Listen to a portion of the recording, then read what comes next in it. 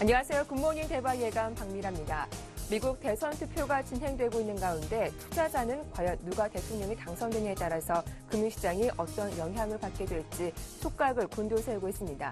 간밤 주요 경제 지표는 발표되지 않았지만 시장은 일단 큰 폭의 오름세로 출발했죠. 뉴욕 증시 3대 지수가 나란히 강세를 띠면서 이틀 연속으로 올랐습니다. 특히 다우 지수가 100포인트 이상 오르면서 1% 강세를 띠기도 했는데요. 오늘은 어제 예고해드린 대로 미국 대선 특집으로 굿모닝 대박 예감을 준비했습니다. 미 대선 결과에 따른 국내 증시 영향, 나아가 글로벌 증시 방향에 대해서 함께 고민하고 또 분석해보는 시간이 될 것 같습니다. 먼저 글로벌 핫이슈부터 점검하고 돌아오죠. 인백스 출산문의 이현민 본부장 나오셨습니다. 안녕하세요. 네, 안녕하십니까. 예, 자 박빙의 승부가 펼쳐지고 있는 가운데 오바마의 우세가 점쳐지고 있습니다. 올해 미 대선의 관전 포인트는 먼저 어디에 있을까요? 올해 미 대선의 관전 포인트는 역시 네. 일자리 창출을 누가 더 잘할 수 음. 있느냐 이 부분이 예, 유권자들에게 불어닥친 아, 화두였다라고 볼 수가 있겠고요. 이에 걸맞는 실업률 수치에 대한 공방이 아주 날카롭게 날선 아, 그런 흐름으로 어, 나타났습니다. 오바마 롬니 후보는 아, 누가 더 일자리를 만들 수 있느냐 이런 부분에서 자신이 적임자라는 주장을 계속 어, 견지를 했고요. 어, 어제 그제 어, 지난주 말에 발표가 됐죠. 실업률 수치 7.9%가 현재 오바마 대통령에게는 다소 현재 유리한 고지를 가져다 줄 것으로 보고 있는 상태입니다. 이 대공황 이후에 7%대 실업률에서 재선에 성공한 아, 대통령은 루즈벨트와 레이건뿐인데요. 레이건 대통령이 7.4%의 실업률 수치에서 당선이 됐다고 본다면 이번에 예상대로 오바마 대통령이 당선될 경우 가장 높은 7.9%에서 아, 대통령에 오른 미국의 첫 아, 대통령으로 어, 기록이 될 것으로 보입니다. 이렇게 7%를 넘은 상태에서 제랄드 포드와 아, 지미 카터 대통령은 재선에 연임하지 못한 기록을 가지고 있습니다. 이번 어, 오바마 롬니 후보는 어, 큰 정부를 지향하는 오바마 대통령과 작은 정부를 지향하는 롬니의 대결 이런 부분에서 정책 공약도 어, 상당히 예, 그 많이 이렇게 두드러진 양태가 났다는 점 이런 점도 재미있는 양상이라고 볼 수가 있겠고 총 3차에 걸친 TV 토론에서 1차는 롬니가 선전을 했지만 2차와 3차 특히 3차 외교 정책에서 어, 롬니 후보가 아, 잦은 말 바꾸기가 아, 드러나면서 이런 부분에서 오바마에게 승기를 좀 뺏겼다라고 볼 수가 있겠고 마지막 일주일 남은 허리케인 샌디가 불어닥친 부분이 오바마 행정부의 위기 관리 능력을 돋보이게 한 음. 점, 음. 이런 점도 오바마 쪽에 유리한 아, 내용이었다라고 볼 수가 있겠습니다. 네. 이번 대선 일반적으로 월가에서는 공화당 쪽에 손을 들어줬는데 올해 이번 선거는 좀 예외가 아닐까 싶습니다. 오바마 쪽으로 기운 것 같은데요. 주요 언론과 그리고 또 전문기관들의 예측도 같은가요? 어, 그 소수파만 현재 롬니 쪽이 좀 우세할 것이라고 보고 있고요. 네. 월가 쪽은 전통적으로 공화당 쪽이 좀 친화적인 정책이 나오기 때문에 롬니 후보를 좀 반겼다라고 볼 수가 있겠습니다. 음. 오늘 뉴욕 증시도 좀 상승세가 나오고 있는데요. 이런 부분은 어느 후보든지 명확하게 빨리 결과가 나올 것으로 현재 그 관측이 되고 있어서 불확실성 해소 차원이 나온 것으로 보입니다. 아, 현재 버지니아대 정치센터 아, 가장 이제 유력하게 언론에서 많이 인용되는 문구인데요.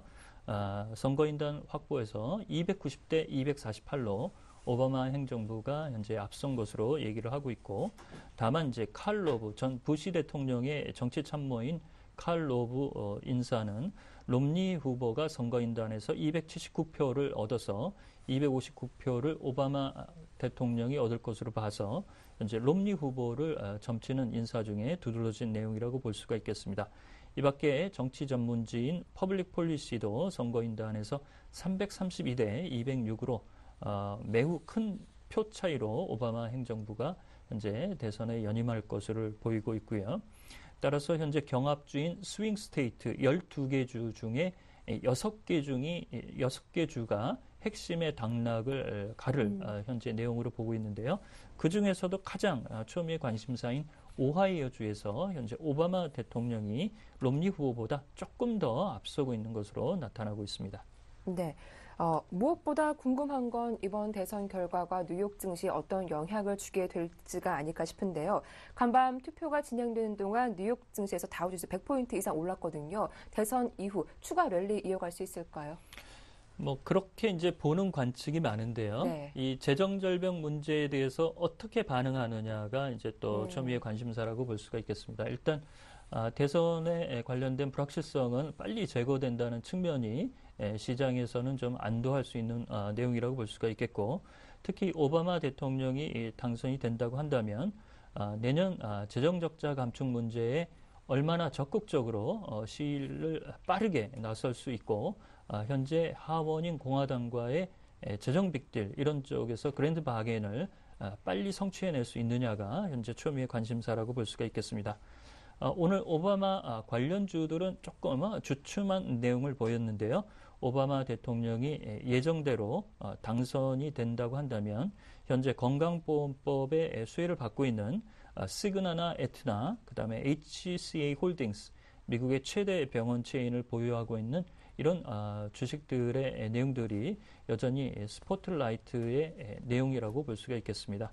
그렇지만 최근 아, 이런 그 종목들이 에, 그동안 상승한 부분이 있기 때문에 좀 조심스러운 부분도 어, 있다라고 말씀을 음. 드리겠고 특히 오바마 행정부는 아, 의료나 태양광, 아, 풍력이나 수력 등 그린 에너지 정책에 대해서 아, 큰 관심을 갖고 있기 때문에 이런 쪽의 내용도 어, 현재 시장에서 관심을 모을 것으로 보입니다. 반면 롬니가 당선될 경우에는 에너지나 철광석 업종이 이제 관심 포인트인데 어, 피바디 콜, 피바디 광산이나 아, 이러한 그 광산과 아, 정유 수혜주들이 예, 관심을 음. 모을 것으로 볼 수가 있겠습니다. 네. 11월 이번 달은 워낙 정치적으로 민감한 달이기도 하죠. 아, 이번 선거를 바라보는 주요 국가, 특히 일본과 중국, 또 유럽 국가들의 반응도 궁금한데요. 어떻습니까? 영국은 전통적으로 이제 미국과 옛날에 이제 그 대결을 했던 아, 네. 대영 제국이라는 아, 부분이 있어서 아, 칭찬에 좀 인색한 부, 부분이 있습니다. 그래서 이번에도 오바마 행정부의 대통령의 역량이나 이런 부분에 대해서는 아, 적절하다라고 어, 평가를 내놨지만 오바마의 유세에 대해서는 조금 인색한 아, 내용이 나왔습니다. 파이낸셜 타임스는 2008년 유세보다 좀 못했다라는 아, 좀 비판이 있었고요. 영국의 더 타임스도 롬니가 유세에서는 아, 매우 더 좋았다. 아, 오바마는 다소 지루했다라는 아, 좀 혹평을 내놨습니다. 음. 이럼에도 불구하고 영국 쪽에서는 오바마 행정부가 그대로 가져가는 것이 예, 유리하다는 시선을 아, 이런 부분에서 대통령직 수행에는 음. 점수를 줬다라고 볼 수가 있겠고 프랑스와 스페인 언론도 오바마에 대한 신뢰도가 아, 매우 높게 현재 에, 그 언론을 통해서 나오고 있습니다. 아, 반면은 반면에 독일은 중도적인 입장을 취했는데요. 오바마가 되든 롬니가 되든 아, 미국의 재정 절벽 문제를 빨리 해결해 달라라고 요구를 하고 있습니다. 중국은 이제 차기 지도부가 아, 들어서기 때문에 특히 미국과의 통상 분쟁이 에, 1, 2, 3차 토론에서 아, 상당히 많이 나왔기 때문에 에, 말을 좀 아꼈다라는 부분이고요. 일본은 자국의 정치 현안의 해결에 에, 그 집중을 한 나머지 에, 언급이 거의 없었습니다만 아, 전통적으로 일본과 아, 현재 미국의 관계는 상당히 좋은 시각이 있기 때문에 어느 후보가 대통령이 되든 어, 음. 좋은 어, 그 relationship을 아, 가져갈 것으로 볼 수가 있겠습니다. 네. 또 끝으로 이번 대선에서 오바마 혹은 롬니가 이길 때 시장 분위기는 확연히 달라지지 않을까 싶은데요. 예상 시나리오 먼저 점검해 보겠습니다. 네, 오바마 대통령이 좀 어, 우세할 것으로 보여서 네. 오바마 행정부 위주로 좀 말씀을 드리겠습니다. 역시 오바마는 아, 증세안을 아, 가지고 나올 것으로 아, 예상이 되고 있고 특히 이제 부자들의 증세안인 아, 버핏세가 아, 고소득자에게는 다소 좀 부담이 될 것으로 보이고요. 반면 법인세 측면에서는 현재 고 어, 그 법인세의 에, 그 최고 세율인 35%를 28%로 인하할 방침을 가지고 있습니다. 이는 롬니가 25%보다는 3%포인트 조금 높은 수준인데요. 어, 이런 내용에서도 법인세 인하 카드는 여전히 유효하다라고 볼 수가 있겠고, 현 FRB의 양적 완화 카드를 지지하고 있다는 점, 이런 점은 아, 증시, 예, 특히 글로벌 증시에는 아, 굉장히 플러스 요인이라고 볼 수가 있겠습니다. 또한 현재 예, 미국의 가이트너 재무장관도 시장의 친화적인 인사로 어, 들어설 것으로 보여서 이런 내용은 불확실성 해소에 큰 어, 도움이 될 것으로 보이고 만약에 롬니 후보가 아, 당선이 된다면 북한에 대해서 해외 예금 동결과 아, 북한과 거래하는 기업들에 대해서 제재 방침을 가지고 있어서 어, 롬니 후보가 될 경우 아, 북한의 지정학적 리스크는 어, 우리 시장에는 조금 아, 불리한 아, 기제로 작용이 된다라고 볼, 볼 수가 있겠습니다.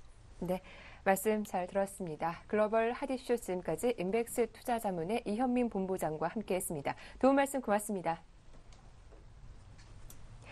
네, 제 45대 미국 대통령 선거가 진행되고 있는 가운데 누가 승자가 될 것인지 관심이 뜨거운 상태인데요. 서울경제신문 증권부 서은영 기자와 함께 이야기 나눠보겠습니다. 안녕하세요. 네, 안녕하세요.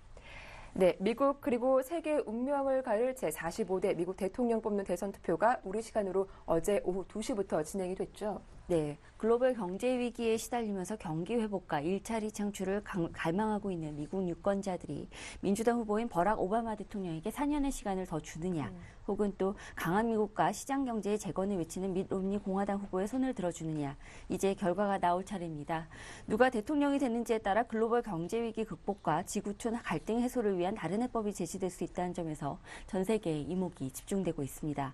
1960년부터 이어진 관례에 따라 뉴햄피셔주 북부 시골 마을 딕스빌 노치의 유권자 10명이 미국 전역에서 가장 먼저 투표권을 행사했는데요.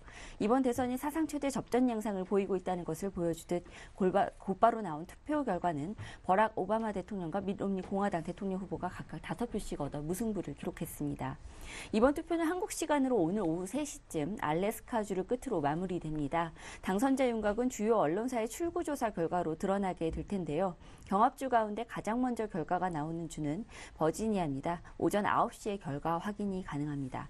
지난 2008년 대선에서 오바마가 승리를 거뒀던 이곳은 현재 롬니의 우세가 예상됩니다. 하지만 오바마가 버지니아를 건질 경우 롬니의 승리 가능성은 크게 낮아지게 됩니다. 이번 선거에서 최대 격전지인 오하이오주와 경합주인 노스캐롤라이나주의 결과는 30분 뒤에 발표되는데요. 만약 오하이오주에서 롬니가 승리를 거두지 못한다면 다른 경합주 대부분과 오바마가 약간 기운 것으로 분석되는 위스콘신주, 오하이오주를 건져야 합니다.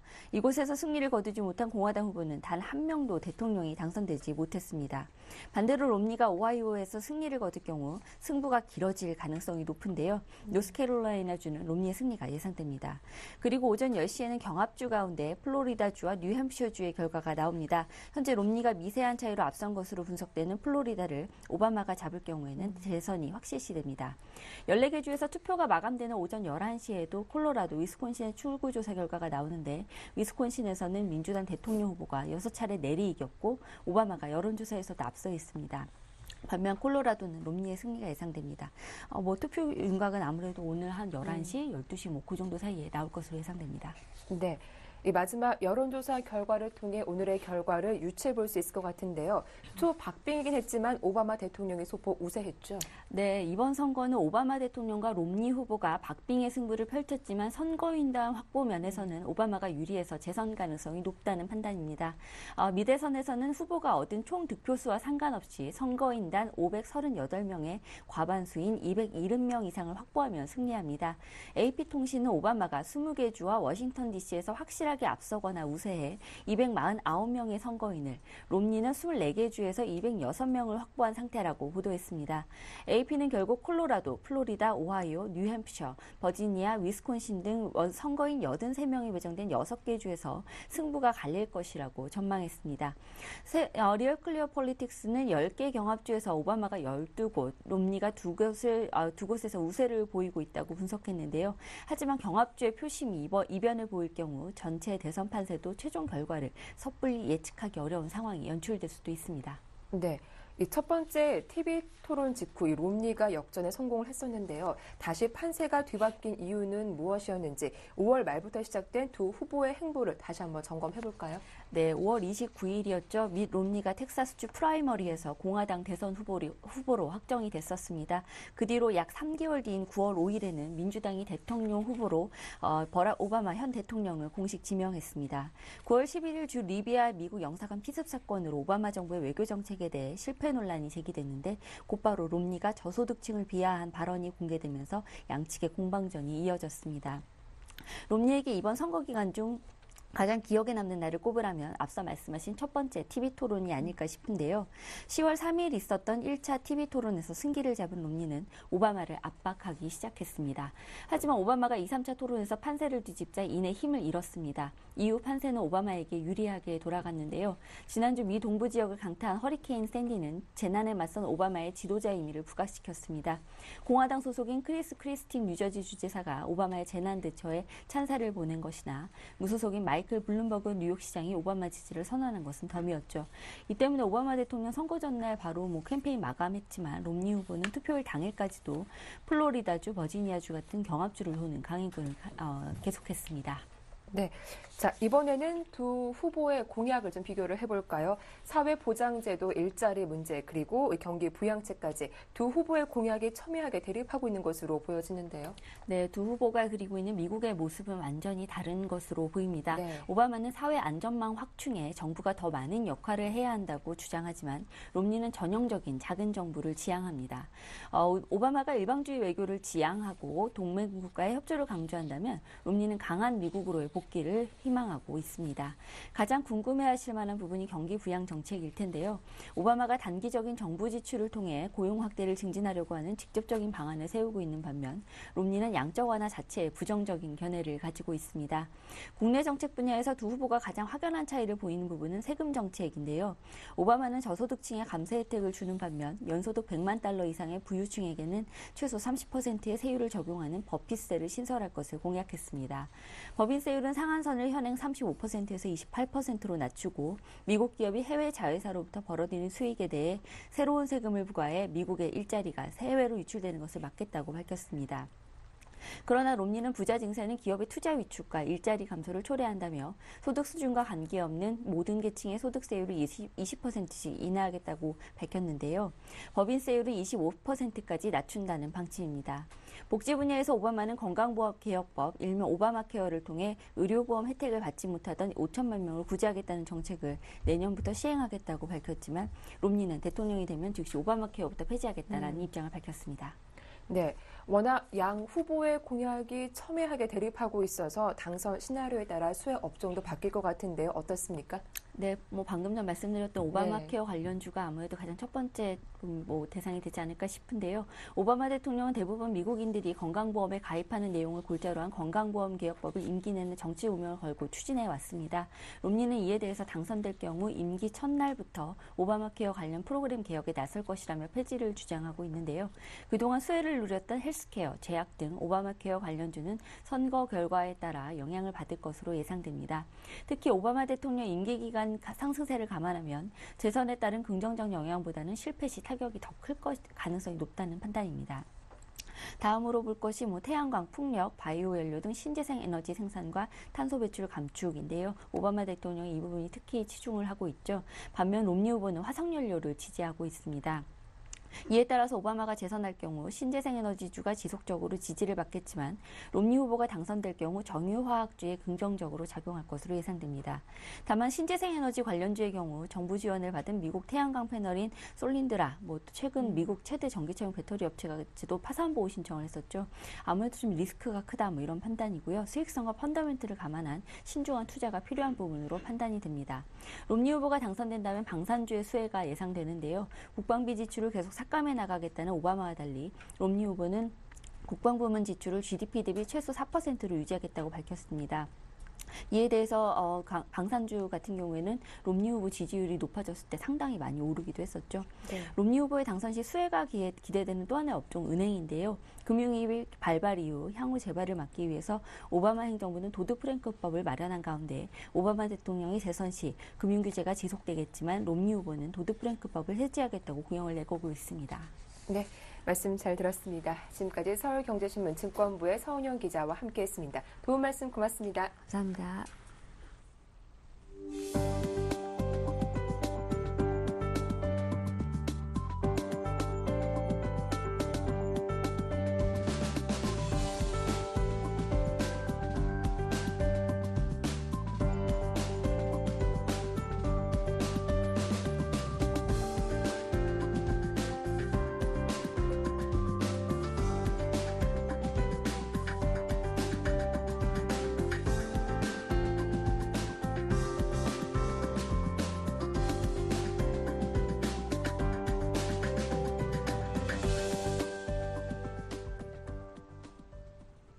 네, 글로벌 주요 뉴스부터 확인하고 돌아오겠습니다. 강동석 아나운서와 함께하죠.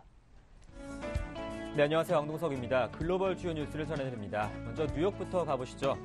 미국 대선 투표가 진행된 6일 뉴욕 증시는 상승 마감했습니다. 미국 대선 결과에 대한 기대감이 투자 심리를 살린 것으로 보입니다. 미국에서 이날 별다른 지표 발표가 없었지만 대선 투표 결과가 공개될 것이란 기대감이 증시를 끌어올렸습니다. 앞서 새벽부터 시작된 미국 대선은 첫 개표지였던 딕스빌 노치에서 무승부를 기록하면서 버락 오바마와 미 롬니 후보는 치열한 접전을 예고했는데요. 주요 지역 출구조사 결과 이후에도 유력 당선자가 가려지지 않을 수도 있는 만큼 투자자들의 관심도 높아지고 있습니다. 반면 개장 직전 유럽 각국에서는 일제히 부정적인 제조업 관련 지수들이 쏟아졌지만 대통령 선거에 집중된 투자 심리를 끌어내리는 데는 영향을 미치지 못했습니다. 다우지수는 1.02% 올랐고 S&P 500 지수와 나스닥은 각각 0.78%, 0.41% 상승했습니다. 유럽 증시도 상승 마감했습니다. 장중 발표된 시장 예상치보다 하회하는 경제 지표 발표가 있었지만 미국 대선에 대한 기대감이 더 살아난 것으로 보여집니다. 앞서 시작된 미국 대선은 버락 오바마와 미 롬니 후보의 치열한 접전을 예고했습니다.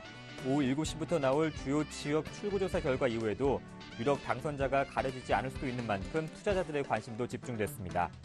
유럽 각국에서는 일제히 부정적인 제조업 관련 지수들이 쏟아졌습니다.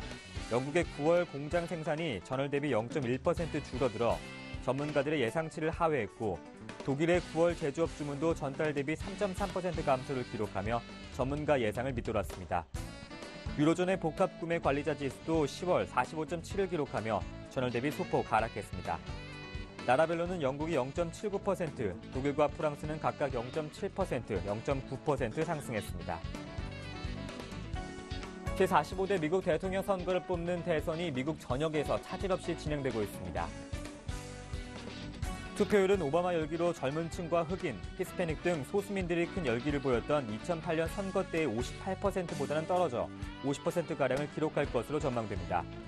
이날 롬니 후보는 부인과 함께 오전 메사추세츠 벨몬트의 집 근처 투표장에서 소중한 한 표를 행사했습니다. 오바마 대통령은 지난달 25일 자신의 정치적 기반인 시카고에서 현직 대통령으로는 처음 조기 투표에 이날 투표하는 모습을 볼 수 없었습니다. 두 후보는 이날 오전 0시 처음으로 투표 테이프를 끄는 뉴햄프셔주의 북부의 딕스빌 노치에서 각각 다섯 표를 얻어 동수를 기록했습니다. 하지만 개표 과정은 순탄치 않을 수도 있습니다. 두 후보가 박빙의 승부를 펼쳐온 점을 고려하면 사소한 시비가 벌어지거나 잠정 투표 개표가 늦어져 당선자 확정에 며칠 걸릴 것이라는 우려가 계속되고 있습니다. 유럽으로 가보죠. 유럽연합이 스페인의 내년도 경제 전망에 대해서도 부정적인 입장을 보였습니다.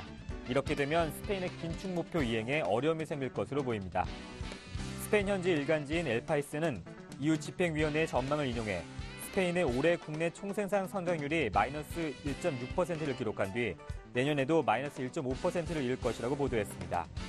이 같은 내년도 성장률 전망은 시장에서 우려하는 수준에 가까운 것으로 내년 경제가 0.5% 위축하는 데 그칠 것이라는 보는 스페인 정부 전망치에 비해 훨씬 더 비관적인 수준입니다. 그러나 EU 집행위원회는 스페인 정부 전망과 마찬가지로 2014년부터는 경제가 플러스 성장을 회복할 수 있을 것으로 보고 있습니다. 현재 스페인은 5분기 연속으로 경기 침체를 겪으면서 재정 적자 감축 등의 어려움을 보이고 있습니다. 이에 따라 스페인 정부는 심각한 적자 구조가 되고 있는 복지 시스템 전반을 재검토하는 방안을 추진하면서 상황에 따라 전면적인 구제금융 지원을 요청하는 가능성도 열어두고 있습니다. 지금까지 글로벌 주요 뉴스였습니다. Bye.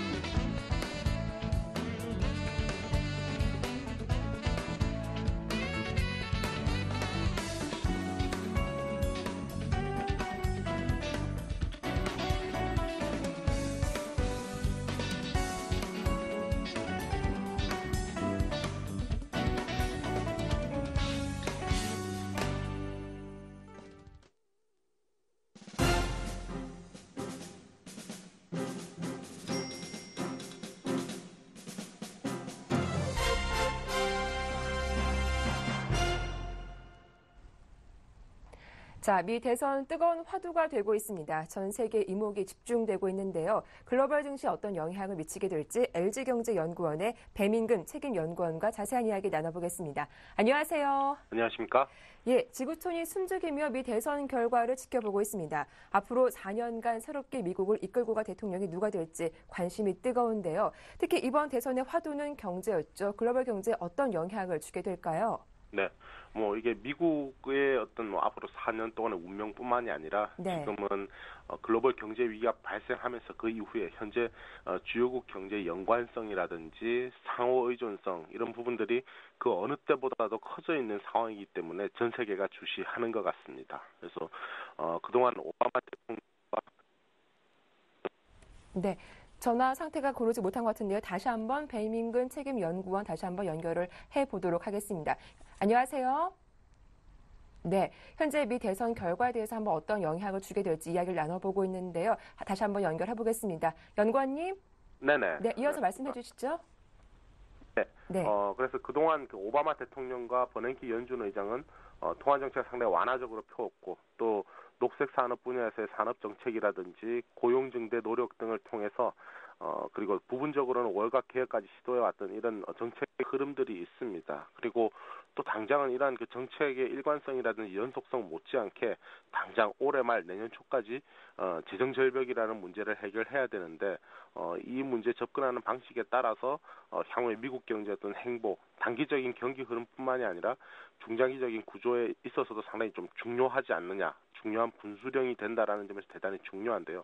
어, 현재 그 초박빙의 어떤 분위기 가운데서도 어, 선거 직전에 일단 오바마 현 대통령의 재선 가능성 쪽으로 약간 그 기우는 그런 흐름이 약간 나타났었기 때문에 당장은 이러한 그 기존의 정책들이 좀 연장될 수 있을 것이다. 그리고 어, 재정 지출의 축소 폭도 상대적으로 크지 않을 것이고 어, 따라서 미국 경제의 어떤 실물 경제가 다소 좀 향후에 주춤하는 정도의 굴곡을 그리면서 계속 회복하는 흐름으로 나아갈 수 있지 않, 겠는가 그렇다면은 어, 세계 경제에 미치는 파장도 현재로서는 좀 제한적일 가능성 쪽으로 어, 기대가 형성되는 것 같고 간밤에 어, 종료된 그 유럽 증시 상황도 이러한 기대를 어느 정도 반영한다라고 볼 수 있겠습니다.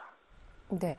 미국 대선 결과는 우리의 외교, 정치 또 경제에도 큰 영향을 미친다는 점에서 매우 중요한 정치 이벤트가 아닐 수 없겠는데요. 미 대선 결과가 우리 경제 또 증시에 미치는 영향은 어떨까요? 네. 어, 하반기 현재는 뭐 전 세계적으로 미국이 그나마 음. 경제 흐름이 어, 전 세계적으로 좀 가장 양호한 그런 몇몇 나라 가운데 하나입니다. 네. 3분기에 2% 성장한 걸로 나왔고요. 그래서 그러다 보니까 미국 경, 경기 흐름 자체가 향후에 우리 수출이라든지 외국인 투자의 향방에 가장 큰 영향을 미칠 수 있을 텐데요. 그래서 어, 특히 우리나라가 지난 10월에 수출이 좀 플러스 증가로 돌아서면서 일단 조금 그 대외 교역의 회복의 조짐이 나타나는 건 아니냐 이런 어, 그런 기대가 나오고는 있습니다만은 어, 일단 이번 대선 결과로서 어, 만약에 미국의 연말 소비 특수라든지 고용 시장의 회복 흐름이 그대로 간다면은 우리 수출도 조금 더 좋아지는 그런 흐름이 나올 수 있고 이것이 만약에 조금 안 좋은 방향으로 바뀌게 된다면은 어, 상당히 부정적인 파장도 커지, 커지지 않느냐라는 생각입니다. 이렇게 어, 미국의 소비와 우리 수출의 어떤 연관성 이것이 가장 큰 요인이 될 것 같고요. 조금 더 중장기적인 관점에서 본다면은 사실 어느 쪽이 이제 대권을 잡느냐에 따라서 특히 이제 어, 우리나라의 정치적 정치 외교적인 부분 에 있어서 좀 중요한 어, 그런 요인이 되지 않나 싶습니다. 그래서 어, 미국의 어떤 대북 정책이라든지 이런 부분들이 당연히 오바마 쪽보다는 롬니 쪽이 조금 더 강경할 것으로 예상되는데 그렇게 된다면은 그 남북 관계라든지 또 그와 관련되는 어떤 경제적인 그런 문제에 있어서도 어, 조금 더 어, 경색 국면으로 들어가느냐 아니면은 조금 더 그 유화적인 국면으로의 해결 가능성을 볼수 있느냐의 분점이라고 볼수 있겠습니다. 네. 이번 미국 대선에서 누가 당선되더라도 재정 절벽 이슈가 불거지거나 통화 완화 기조의 변화가 생길 수 있어 환율 하락 속도가 빨라지지는 않을 거란 전망이 많은데요. 이번 대선 결과가 금융시장 및또 환율 시장에 미치는 영향에 대해서는 어떻게 보고 계십니까? 네. 어, 재정 절벽을 해결하는 방식에 따라서 어, 말씀하신 주가라든지 네. 또 달러 가치 향방도 상당히 영향을 받을 것인데요. 어, 일단 오바마 대통령이 재선에 성공을 한다 음. 하더라도 어, 공화당이 하원을 장악을 하게 되는 상황. 그렇다면은 향후에 그 재정 절벽, 즉 재정 지출을 어느 정도 줄일 것인가를 또 그 모색하는 과정에 있어서 상당히 좀 어, 결국 난항이 있을 수밖에 없지 않느냐 하는 생각입니다. 그래서 어 뭐 결국은 이러한 그 어, 상당한 그 진통을 거치더라도 어, 결국은 어느 정도 재정 지출의 어떤 감소 폭이 그렇게 크지 않은 선에서 어, 합의가 될 가능성이 그래도 크지 않느냐라고 보고 있는데요. 어, 그렇지만 그런 결론에 도달하는 과정이 상당히 좀 길 수 있고 또 의회 내에서 뭐 민주공화 양당의 견해 차이가 쉽게 합의에 도달하기는 어려울 것으로 예상이 되기 때문에 연말에 어떻게 보면 국제금융시장의 단기적인 불안으로 요인으로 작용할 그럴 가능성이 크다라고 하겠습니다. 그래서 어, 당장 보면 주식시장에서는 일단 어느 정도 오름세가 좀 나타날 수 있습니다. 그래서 우리나라에도 외국인 투자 자금이 유입이 될 수 있고요. 이것은 어, 뭐 전 세계 시각이 이런 것 같습니다.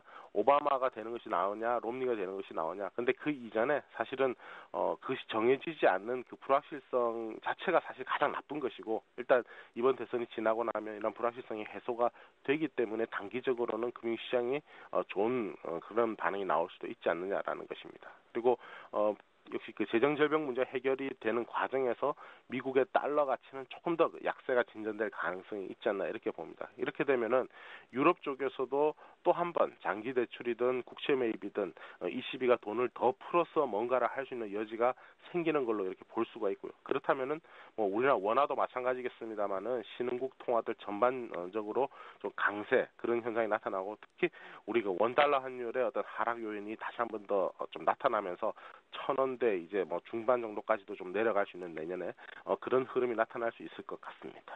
네, 오늘 도움 말씀 고맙습니다. 감사합니다. 네, 지금까지 LG경제연구원 배민근 책임연구원과 함께했습니다.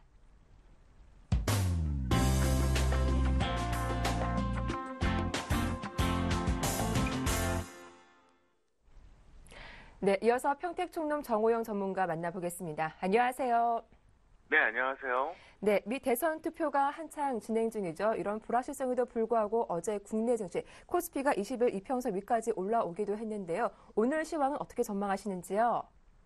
네, 단기적으로는 1900선과 1950선의 어떤 변곡점 구간이다 이렇게 볼 수가 있겠습니다. 네. 그러니까 여기서 방향에 따라서는 뭐 1950이 한 번 정도 다시 한번 회복해 줄 수도 있고요. 그렇지 않으면 이제 1900선이 무너지는데 어, 화요일 그러니까 어제였죠. 이제 이상급 등 현상이 좀 나타난 것 같아요. 어떻게 보면 이제 어, 오늘 어, 미국 시장이 좀 어, 좋은 결과가 나타날 것을 미리 알고 좀 어, 선반영됐다 이렇게 볼 수가 있겠는데요. 왜 이상급 등인지 잠깐 설명을 좀 드리겠습니다. 일단 표면 지수는 1928포인트로 끝났습니다. 종가가 고가로 끝났죠. 아주 멋지게 끝났는데요. 어, 수정 지수로 제가 환산해 보면 한 1915에서 한 20 정도로 현재 보고 있습니다. 왜 그렇게 되냐면 약간 거품이 꼈기 때문에 그러는데요. 그 거품이 낀 그러니까 지수 왜곡의 이유가 뭐냐? 첫 번째 보시면은요. 외국인들의 그 선물 환매수가 어제 좀 많이 나왔어요. 그리고 옵션에서 개인들이 그 오전장에는 어, 배팅이 그러니까 어, 상방향이었습니다. 그런데 오후장에 하방향으로 바뀌었거든요. 보통 개인들이 옵션 방향하고 반대로 움직이는 경향이 있습니다. 주시장. 그래서 두 가지 요소가 일단 첫 번째 이유로 꼽힙니다.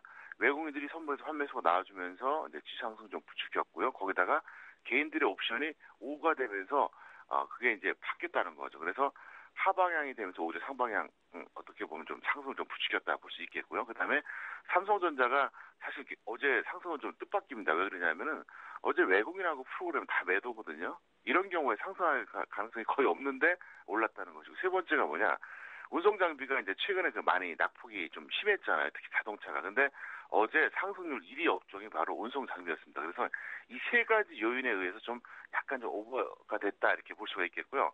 중기적인 추세는 뭐 여전히 좀 부정적으로 보고 있습니다. 그다음에 그 미 대선 결과에 따른 증시 영향을 간단하게 설명드리면 공통점은 그렇습니다. 현재 그 시장의 추세와는 뭐 별 차이가 없다고 봅니다. 그러니까 거시적인 트렌드는 역시 똑같다. 차이점이 뭐냐면은 오바마가 당선이 되면은 점진적으로 좀 하락한다고 보고요. 롬니가 되면 좀 극, 어, 급격하게 좀 단기 조정을 좀 확실히 받지 않나 이렇게 볼 수 있겠습니다. 그 다음에 어, 삼성전자하고 외국인 그 삼성전자의 그 외국인하고 프로그램 매매 동향을 좀 좀 관찰을 좀 해야 됩니다. 현재 삼성전자는 외국인들이 8일 연속 순매도입니다. 네, 굉장히 좀 강렬한 매도군이고요. 프로그램 같은 경우는 이제 이건 이제 삼성전자에 국한된 것인데 7일 연속 순 매도였 매수였다가 이제 어제 순 매도로 전환이 됐습니다. 그래서 어쨌든 현재 삼성전자의 어떤 그 이런 트렌드로 봤을 때는 아, 최근에 삼성전자의 상승이 결국은 프로그램 매수 덕분이었다 이런 결론이 나올 수밖에 없고요. 잠깐 차트 보시겠습니다. 자 보시면은요 음, 어제 같은 경우 이제 21선을 회복해 줬고 어, 장대 양봉이 나왔습니다. 근데 좀 뜻밖이었죠. 저도 그렇고 아마 시청자분들도 그렇게 생각하실 것 같은데 앞서서 말씀드렸던 대로 이제 선물 시장과 옵션 시장 예, 두 가지 요소가 이제 일단 첫 번째였고요. 두 번째는 삼성전자가 어, 어제도 상당히 좋았습니다. 근데 사실 이게 조금 좀 어, 이해가 안 되는 상승이다 이렇게 말씀드렸고요. 그 다음에 운송 장비 업종이 어제 상승률 1위였습니다. 또 어제 같은 경우에 무려 2.64% 상승했습니다. 그러니까 코스피 지수의 상승률보다 훨씬 높죠. 코스피 지수는 어제 1.05% 상승했거든요. 그래서 이런 요인 때문에 아, 오늘 아마 미국이 그 상승해서 끝나긴 했지만 어, 그렇게 생각하는 것보다는 그 기대하는 것보다 그렇게 크게 상승하지는 않을 것이다. 저는 이렇게 보고 있습니다. 네. 이어서 오늘 전략을 짜보도록 할 텐데요. 주식 비중도 궁금한데 자세하게 설명해 주시죠. 네.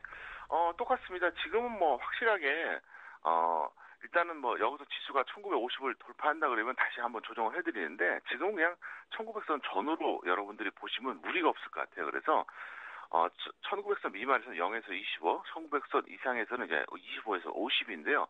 만약에 1950이 넘어가면 뭐 그때는 공격적으로 다시 또 75에서 100까지 주시면 되겠고요. 반대로 1850이 깨지면 그때는 웬만하면 안 하시는 게 좋습니다. 웬만하면은 그때는 어, 개별주 단기 매매도 안 하시는 게 좋겠다 설명드리겠고요. 그다음에 오늘은 제가 대선 정책 테마 중 하나를 좀 소개시켜드리겠습니다. 바로 사람인 HR입니다. 어, 이거 같은 경우 왜 이제 좋냐면요.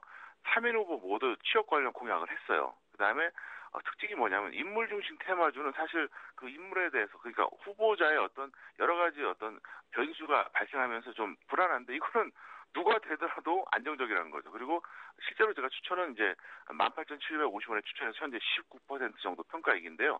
하여간 분할 매수로 지금이라도 대응하셔서 마이너스 10에서 플러스 20 정도 여러분들이 목표로 보시면은 큰 무리가 없을 것 같습니다.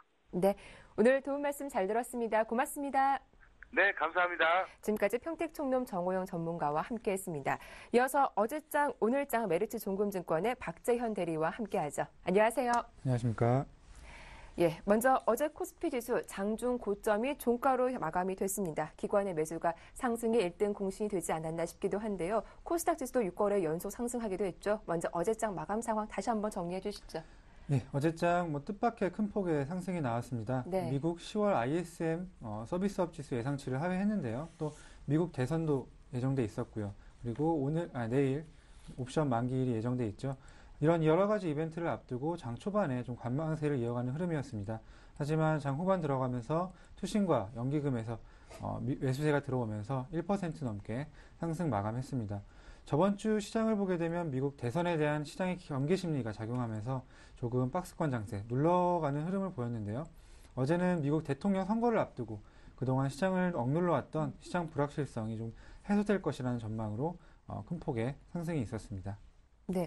이어서 업종별 흐름도 정리를 해볼 텐데요. 어제 가장 눈에 띄었던 건 바로 운송장비주가 아닐까 싶습니다. 전날 급락했던 현대차와 기아차, 현대모비스 모두 좀 반등이 나왔더라고요. 네, 업종별로 뭐 하나씩 살펴보겠습니다. 네. 업종별로 운수장비 업종, 증권업종, 그다음에 운수창고 업종이 강세를 보이는 반면에 전기가스, 의약품, 통신 업종 등은 약세 마감했습니다. 아까 말씀하셨던 운수장비 업종, 뭐 그동안 음, 여러 가지 이슈가 있었죠. 뭐 네. 환율 하락이라던가 연비 과장 이슈가 있었는데 어, 연비 과장 이슈가 좀 음, 과대했다, 과대했다는 그런 반응을 보이면서 어, 외국인과 프로그램 매수세가 유입되면서 단기 반등했고요. 또 조선업종 또한 현대미포조선이 어, 친환경 LPG 운반선을 수주하는 등 해양 플랜트 수주 모멘텀이 가격 하락 저가 매수 모멘텀과 함께 부각되면서 강세를 나타냈습니다. 약세업종 또 살펴보면 어, 원전 관련주 또 그 원자력 발전소 두 기 가동 중단, 중단 여파로 약세가, 약세가 지속되는 흐름 보여줬고요. 코스닥도 간단하게 살펴보면 바이오 업종 상승이 두드러진 하루였습니다. 메디포스트가 홍콩 헬스케어 전문 기업이죠. 이튼과 줄기세포 치료제, 카티스템 수출 계약을 맺었고요. 또 마크로제는 3분기 최대 실적 기록하면서 어, 바이오 업종 이슈 부각되면서 제약 업종이 큰 폭으로 상승 마감했습니다. 그리고 안랩, 안랩이 안철수 후보와 문재인 후보 단일화 이슈로 어, 큰 폭의 상승을 보였고 전자결제 업종들이 어, 일부 상승하면서 소프트웨어 업종도 어, 급하게 상승 흐름을 보여줬습니다. 반면에 게임주들은 외국인과 기관, 동반 차익 실현 물량 나오면서 어, 1%대 하락하는 모습을 보여줬습니다. 네. 이어서 뭐 오늘 시장의 핫 이슈는 바로 미 대선이 되겠죠. 과거 흐름을 보니까 재미있는 결과가 있던데요. 2004년 조지 부시 전 대통령이 대선에 성공했을 때 코스피는 한 달간 4.4% 올랐고 또 2008년 오바마 대통령이 선출됐을 당시에는 11.3% 폭락했더라고요. 오늘 흐름 좀 어떻게 전망할 수 있을까요? 저는 뭐 과거의 일들은 신경을 그렇게 크게 쓰는 편은 아니고요. 네. 왜냐면은 지금 그때 상황이랑 지금 상황은 굉장히 많이 다르기 때문에 그렇죠. 저는 뭐 예측보다는 대응하는 전략이 많이 필요할 것이라고 생각됩니다. 음, 일단 우리 시간으로 오전 10시에 알래스카주를 제외한 모든 주에서 선거가 끝나게 되는데요. 이때부터 대략적인 출구조사 결과가 나오게 되고 또 오후가 되면 뭐 대략적인 어, 당선자 윤곽을 확인해 볼 수가 있을 것 같은데요. 뭐 오바마와 롬니 둘 중에 누가 당선되든지 단기간 증시에 뭐 강력한 영향을 줄 것 같지는 않습니다. 어, 다만 통화 정책 지속성 그리고 어, 이런 관련된 리스크 상대적으로 자유로운 오바마 쪽이 우리 증시에 조금 더 어, 긍정적인 영향을 끼치지 않을까 생각이 되고요. 하지만 옴리가 뭐 승리할 경우라도 통화 정책 기조가 바뀌는 건 아니겠죠. 2015년까지 연준에서 음. 어, 저금리 정책 기조를 유지하겠다고 했기 때문에 이거를 바꾼다는 것은 뭐 연준 정책에 대한 신뢰를 흔드는 것이죠. 그렇기 때문에 어, 뭐 금융시장에 큰 뭐 악재가 될 것 같지는 않고요. 결론적으로 아무래도 우리나라 증시 오늘장 오바마가 어, 우세한 것으로 나온다면 증시에는 긍정적인 좀 영향을 끼칠 수 있을 것 같고요. 네. 하지만 우리 증시에 어제 일부 선반영된 어, 그런 면이 없지 않아 있기 때문에 음, 오늘장 뭐 오바마가 당선되더라도 뭐 상승은 좀 제한적일 것이라고 음. 생각이 되고요. 쪽으로 기울어지게 된다면 기울어지게 된다면 단기적인 충격은 나올 수 있을 것 같습니다. 뭐 우리 시간으로 오전 9시가 되면 경합주의 이 결과가 발표가 되니까 한번 잘 체크를 해 보셔야 할 것 같습니다. 자, 이어서 미 대선 결과에 따른 수혜 업종과 종목도 확인을 해 볼 텐데요. 어제 국내 증시에서 이 오바마 대통령에 대한 기대감 때문인지 이 태양광 관련주가 모처럼 크게 반등하는 모습도 나왔더라고요. 네, 맞습니다. 네. 어제 OCI나 뭐 웅진, 어, 웅진 에너지, 네. 또 오성 LST 등 그런 태양광 업종들이 조금 큰 폭으로 선반영되는 모습을 보여, 보여 줬는데요.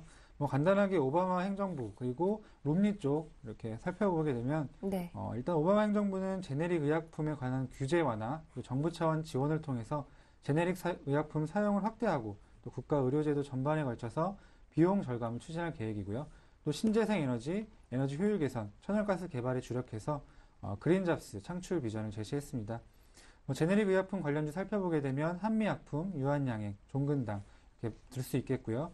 신재생 에너지 관련주로는 삼성 SDI, LG화학, 포스코캠텍, 일진전기 그리고 어제 큰 폭으로 상승했던 태양광 관련주 어, 들 수 있겠습니다. 또 롬니 후보가 당선될 경우에는 에너지 소재 업종, 또 국방, 금융 업종 등이 수혜를 입을 것으로 나타내고 있는데요. 음. 어, 원자력 발전과 관련된 주식은 어, 한전기술, 세아베스틸, S&TC, 그리고 자원개발주는 LG상사, SK네트워크스, 대우 네. 인터내셔널 등이 있고요. 또 두 후보가 공통적으로 일자리 창출을 내세우면서 제조업 육성을 강조하고 있기 때문에 어, 미국 제조업이 부활한다면 한국 기업들의 기계 그리고 정밀기기 수출도 좀 네. 가능할 것으로 보입니다. 그럼 관련 주로는 현대위아, YG원, 일진다이아, 뭐 DK락, 동일 등, 음. 동일금속 등을 꼽을 수 있겠습니다. 자, 그렇다면 좀 종목별로 좀 자세하게 이야기를 나눠보겠습니다. 먼저 OCI부터 한번 확인을 해보도록 할 텐데요. 그동안 바닥이 어디인지 모르게 좀 끝없이 추락하는 모습을 보여주기도 했는데 만약에 오바마가 당선이 된다라고 하면 이 OCI 좀 반등 기대해 볼 수 있는 건지 차트를 통해서 분석을 해주시죠. 아, 저 네. 같은 경우에는 뭐 큰 폭의 상승은 뭐 생각하고 있지 않고요. 어제 네. 일부 선반영됐다고 생각을 합니다. 어, OCI 태양광 업종 같은 경우에는 어, 일단 실적이 굉장히 안 좋습니다. 네. 태양광 업종 대표 어, 일단 실적이 굉장히 안 좋고요. 향후 전망도 불확실하, 불확실하기 때문에 음. 오바마 대통령이 당선된다고 해서 어, 이렇게 좀 큰 폭의 상승이 나올 것 같지는 않고요. 네. 어, 오바마 대통령 뭐 계속해서 지금까지 태양광 정책을 유지했었기 때문에 네. 지금 오바마가 당선된다고 하더라도 뭐 정책이 바뀌는 건 없게 되겠죠. 음. 그렇기 때문에 어, 실질적으로 실적이 바뀌지 않는 이상 어, 예. 태양광 쪽은 어, 그대로 유지할 것으로 생각이 됩니다. 뭐미 대선에 대한 기대감보다는 좀 실적에 좀 집중을 해봐야겠다라는 말씀을 해주셨습니다. 자, 이어서 오늘 전략 좀 세워보도록 할 텐데요. 어떤 전략이 필요할까요? 네, 오늘 전략 뭐 예측보다는 대응에 중점을 주다라고 말씀해 주, 드리고 싶은데요. 네. 어, 오바마, 오바마 가 우세하다는 그런 언론의 보도가 많이 있었지만 뭐 박빙으로 가고 있죠. 미국 대선 박빙으로 가고, 가고 있기 때문에 뭐 50대 50 뭐 이런 상황에서 어, 어느 한쪽을 에뭐 투자를 하게 된다는 것은 뭐 도박과 같기 때문에 일단은 대선 결과를 보고 그 후에 어, 관련 업종, 수혜 업종이나 수혜주를 따라서 투자하는 전략이 어, 어느 때보다 필요해 보입니다. 네. 예측보다는 대응에 더 중점을 해야겠다라는 말씀 잘 참고해 보시면 좋겠습니다. 자, 지금까지 메리츠 종금증권 강서지점의 박재현 대리와 함께 했습니다. 도움 말씀 고맙습니다. 감사합니다.